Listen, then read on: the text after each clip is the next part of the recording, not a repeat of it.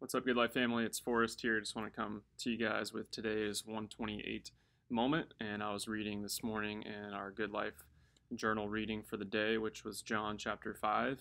And I thought there was a timely story before I get in. I just pray that um, wherever you're at today, if you're quarantined and social distancing, just pray that you would feel the peace and the love of God in your life wherever you are. And let's dive in just a little bit of what we see in the scripture today. Was John chapter 5, and kind of the context of what's happening is Jesus and his disciples, they come to an area of the city where it describes there being people who are lame and paralyzed and blind.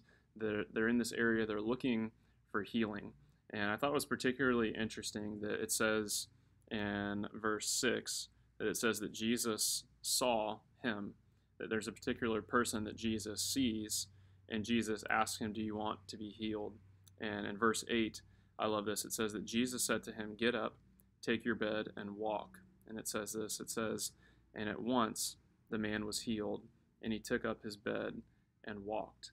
Now, it's an incredible story of not only Jesus healing, Jesus seeing a man in the middle of his brokenness. And if you keep reading in John 5, there's this whole discussion that breaks out about should Jesus heal on the Sabbath, and the religious leaders have issue with it, and all kinds of craziness. The reality is that Jesus saw someone in their brokenness, and he was willing to heal them.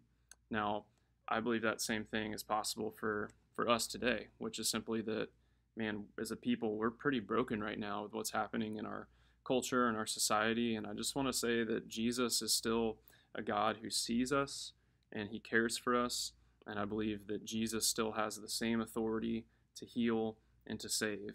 And I would encourage us as a church family to let's be the people that um, before we, you know, freak out and have anxiety about the moment. I know it's really hard not to in today's world with everything swirling on in the news. Let's remember that Jesus still has the authority.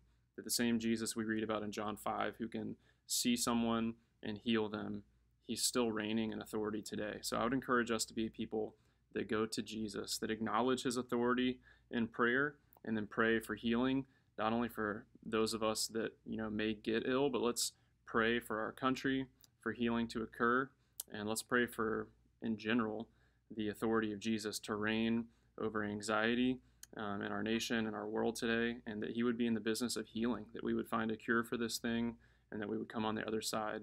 Let's be people who fight this situation with prayer and acknowledging the authority of Jesus.